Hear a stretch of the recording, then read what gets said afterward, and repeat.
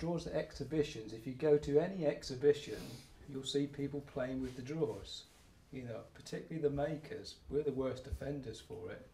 You know, how well does that drawer slide in and out? And it's kind of used as a benchmark of craftsmanship. Now, if you go to an exhibition, you'll probably be relieved to know that probably 80% of the drawers there aren't piston fit. And whether that is because people have tried to achieve it and have fallen short, or whether they've never had the right tuition in the first place. You know, maybe they just didn't know how to achieve it. But we can teach you how to get drawers that are piston fit. That carefully scalpel either side.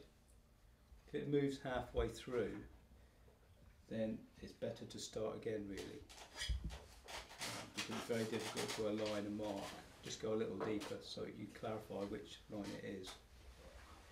Um, and the big difference with these dovetails is now at this point, when it comes to chopping out the waste, I'm going to plane up first.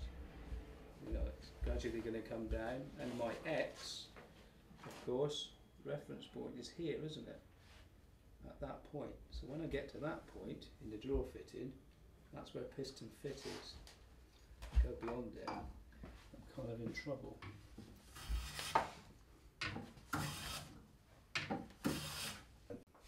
So it's that last little bit where all the skill comes.